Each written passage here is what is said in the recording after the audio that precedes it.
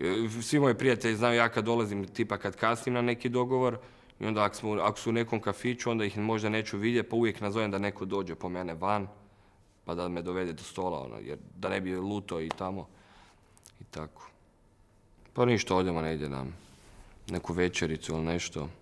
Da, kad smo u restoranu isto ne vidim na jelovnik, pa mi ona čita sva jela, pa ono, to isto malo. Uvijek mi neko nešto sve mora čitati ili pokazati, ono, slikat, ili si sam slikam pa gledam meni, uvećam si s mobitelom. S mobitelom sam si olakšao puno toga, znači sve ono, i poruke veća su mi slova na mobitelu, onda screenshotam si slike i razgovore pa čitam tako ako je neka duža poruka. I... Ali dalje moram približiti mobitel e, prema, zato što mi je desno oko e, gleda na bliže i onda s desnim okom čitam uvijek što je na mobitelu ili nešto. Za biti naporno, ako je neka duža poruka ili nešto, ali... Znači kad koristim mobitel gledam, znači ovako ga koristim jer drugačije ne vidim.